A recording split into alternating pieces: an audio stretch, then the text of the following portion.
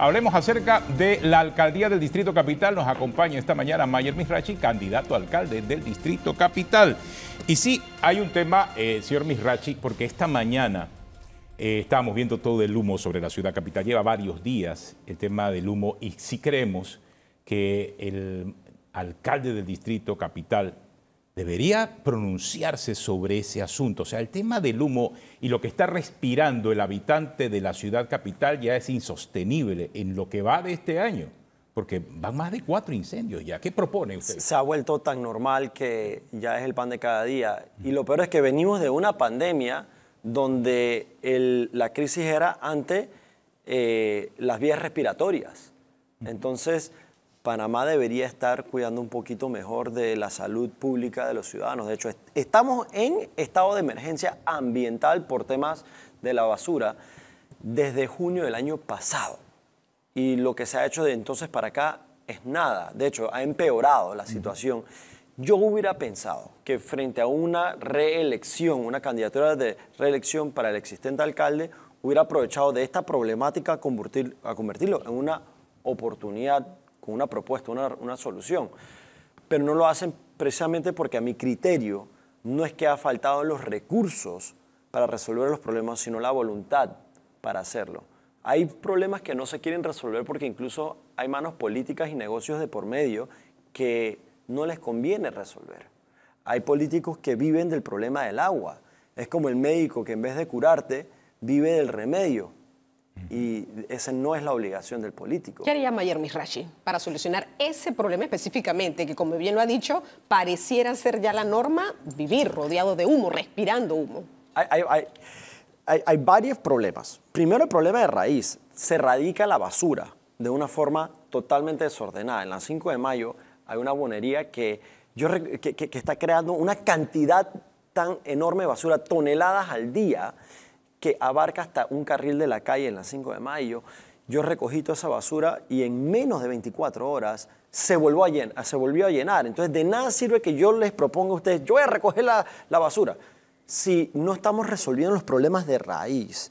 Entonces, recoger la basura es importante, pero la disposición final es crítica resolverla. Cerro Patacón es un embudo, no es un relleno sanitario, porque no hay ni relleno ni sanidad es un vertedero a cielo abierto. Yo he ido allá más de tres veces en los últimos tres meses y se va poniendo de mal en peor porque el vertedero principal se ha, prendido tanto en fuego que han creado otro vertedero en paralelo ahí adentro. Y yo voy con tres toneladas de basura el viernes pasado y me cobran 60 dólares para simplemente echar la basura al aire libre. Entonces simplemente lo que estamos haciendo es transfiriendo la basura de un lado al otro pero no estamos resolviendo nada. ¿Qué propongo? Centros de transferencia a lo largo de toda la ciudad, disperso, para que el camión de basura que recoge la basura en Tocumen, que típicamente nada más la recoge dos veces en un día, pueda recogerla 12 y hasta 15 veces al día. ¿Por qué? El centro de transferencia podría estar ubicado en Mañanitas. En vez de que el, el camión de basura recoja en Tocumen y maneje una hora para eh, patacón, espere cuatro horas en fila para botar la basura y luego una hora de regreso, ese camión de basura nada más va a mañanitas, a 10 minutos, dispone la basura del centro de transferencia y regresa a recoger, incrementando la frecuencia con la cual recoge. Y ellos, muchos de esos camiones de basura, tanto privados como eh, los públicos, se les paga por lo que recogen. Entonces van a generar más.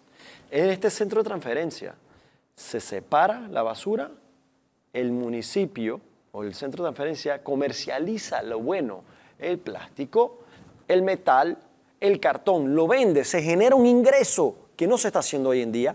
El balance ¿El propio municipio o un tercero? Pues es que el municipio da mano de un tercero, porque no vamos a asumir que el municipio sabe manejar la basura.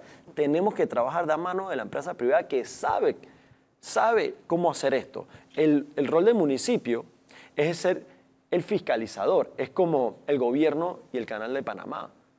El gobierno fiscaliza el rol de lo que se hace en la, empresa público-privada. Entonces, como socio en este proyecto, el municipio lo que va a hacer es resolver el problema y asegurar que se está atendiendo adecuadamente.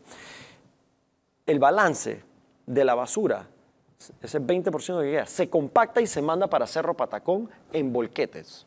Cada volquete te lleva cuatro veces más basura que un camión de basura. Entonces, vas acortando la fila que está pasando ahorita. Ahora, pero ¿qué hay que hacer con Cerro Patacón? ¿Se cierra? ¿Se transforma? ¿Se, muda? Se transforma. Cerro Patacón necesita una planta de, de separación, tratamiento y disposición final. Hoy en día no hay nada de eso.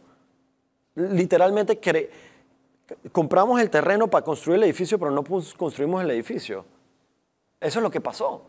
Entonces hay que terminar la idea de Cerro Patacón, porque Panamá necesita un espacio donde disponer de la basura apropiadamente. Nada más vete a Chorrera, ellos están manejando la basura bien. Y es el municipio, y lo tengo que reconocer, el municipio de Chorrea lo está manejando bien de a mano con la empresa privada. Pero Cerro Patacón colapsó en el 2015. ¿Transformar lo que tiempo tomaría? Es decir, para toda la necesidad, y como usted lo está planteando, se necesita tener un lugar definitivamente que funcione. ¿Cuánto tiempo le tomaría a usted? Eh, una planta como la que propongo no demoraría más de 12 meses en desarrollar y poner a, trabajar. Eh, costaría 30 millones de dólares, te genera 16 millones de dólares en el primer año. Eso es decir, la inversión se paga por sí sola antes del fin del quinquenio. Entonces, demostrando que esto no solamente puede ser una solución al problema de la basura, sino convertir el problema de la basura en el negocio, en el ingreso al Estado. Hoy estamos viendo un video eh, de un juego que se llama Super Mayer y que lo que estás diciendo es que este juego se hizo en Panamá. Es para un Game Boy, ¿no? Es lo que veo. Pero eh, esto cómo fue hecho eh, y por lo que entiendo, involucrándote ahora en todo este concepto del gaming, tratas como de dar a conocer tus propuestas a través de este juego. Exactamente. Mira, Primeramente hay que entender que esto es un videojuego creado por panameños y diseñado por panameños aquí mismo en Panamá. Yo siempre he dicho que Panamá tiene que meterse en la industria de videojuegos. Para que tengas idea y atenos en la industria. Ese es el mensaje en el fondo. Así es. Es darle la oportunidad a nuevas plazas de empleo, nuevas industrias que puedan realmente atraer el interés de la juventud, del tipo de empleos que quieren. La industria de gaming es más grande que la industria de música y películas combinadas. Y Panamá no tiene un solo pedazo de ese pastel. Podríamos empezar a crear nuevos empleos y oportunidades e industrias a punta de la industria de gaming. Aquí en campaña hemos demostrado solamente lo que es posible hacer desde un humilde presupuesto de campaña con la voluntad de los ciudadanos y creativos y programadores que decidieron aportar en esta idea y es una forma diferente de hacer campaña. ¿El juego no lo financiaste tú? ¿O lo, financiaste tú? ¿Fue una donación? ¿Cómo fue eso? Eh, eh, eso se trabajó de a mano con creativos que ya tienen la experiencia, han hecho tesis. En la UTP hay tantos proyectos como ese videojuego que nunca salen a la luz pública, porque no existe una plataforma ni pública ni privada comercial para que ellos se den a conocer. Entonces, yo lo que he propuesto para la alcaldía de Panamá es crear el Silicon Valley en Latinoamérica, desde la ciudad de Panamá. Eso me lo dijo en Chiriquí hace como dos semanas, cuando se dio el debate. Sí. Profundice un poco en eso. Ya pudo hablar. Y recuerda que usted me dijo que iba a hablar con la gente de Google, que iba a. ¿Usted hizo reuniones, participó o no participó en esa reunión? Sí, tuve una reunión con Google. Y para mi sorpresa, lo que ellos me dijeron que es la primera vez que Panamá se acerca a Google para, por intereses de establecer una sede regional en Panamá. Y a mí me sorprendió porque yo ni siquiera soy un, un, funcionario electo. Yo solamente soy un ciudadano. Es decir, nadie en el gobierno de Panamá los está cortejando. Y aquí tenemos una oportunidad ahora porque Panamá se vende bien, es potable, hay que nada más cortejar. A las grandes empresas, Google, Amazon, eh, eh, Facebook, Tesla, se puede hacer en Panamá una pequeña planta de, no de producción, sino de, ensamblaje final en Panamá para que Tesla pueda exportar desde el hub de las Américas hacia todo el resto de los países, desde, Asia hasta Sudamérica, desde Panamá, teniendo el canal. De hecho, esos carros Tesla ya pasan por el canal, miles al mes. Solo se trata de dejar un para acá, pero nadie ha hecho la tarea de tocar la puerta Cuando a usted dice Musk. que nadie ha hecho la tarea, es que ningún funcionario Así del es. gobierno panameño ha tenido reuniones con ellos. No, ni el, ni el Ni de presidente. ninguna entidad, ni- ni el presidente. Ministerio de Comercio, Ellos nadie. quieren- el- aquí en Panamá es- son los altos funcionarios con títulos que tienen el acceso para que los escuchen y, y los oigan allá en Silicon Valley. La- el único momento en el cual Panamá se interesó en Tesla fue en la pandemia, cuando Tesla estaba haciendo ventiladores. Y el vicepresidente en ese momento eh, me pide acceso y yo le abro las puertas con Tesla. Pero Tesla, ¿qué dice? Un momentito, tú nada más me buscas por los ventiladores y no te interesan mis carros. Hay, hay países en fila que tienen prioridad ante tú, porque ya desde antes me vienen buscando. Entonces Panamá tiene una tarea de hacer de cortejo para atraer esa inversión extranjera, especialmente y específicamente en la industria de tecnología cuyo presencia es inexistente. Panamá puede ser la cuna no del conocimiento, sino de la exportación de capital intelectual, con empleos que paguen de salida para estos pelados de 21 años que se están recién graduando, que te paguen 2.500 al mes, garantizado, porque necesitan el talento. Y sería un ahorro para Google y Facebook pagar esos 2.500 dólares en Panamá, que los 10.000 que están pagando allá en California. Mañana, yo iba un poco por allí, es decir, las propuestas de inteligencia artificial, estructuras ecoamigables, esto de estos jóvenes que pudiesen estudiar un salario de 2.500 dólares, yo creo que es lo ideal para cualquier joven en este momento que está buscando un empleo, que sea preparado. Tú hablas también de estudiar y luego pagar con el trabajo el 10% Así es. e ir poco a poco. Creo que es otra Sí. de tus de tus propuestas. ¿Te está leyendo realmente el electorado de eh, estas propuestas que a todas luces tienen que ver mucho con tecnología, tienen que ver con una Sí. ciudad moderna? Conecta también eh, algunos títulos que tú tienes como el Chacalde, el Yeye del Gueto. Es decir, ¿qué tanto estás viendo tú en tu propuesta que esto está conectando con la juventud? Y tengo que decirlo, 48% del electorado es joven, Es está joven. dentro de los 18 a los 40 años. ¿Cómo, cómo Sí. lo estás viendo tú a 41 días de las la elecciones? receptividad ha sido muy alta entre la juventud porque no me quedo en la superficie de nada más la propuesta, sino el cómo. Precisamente cuando hablo de programas para capacitar al joven en programación y diseño gráfico de interfaces de usuario, yo explico cómo pasa esto.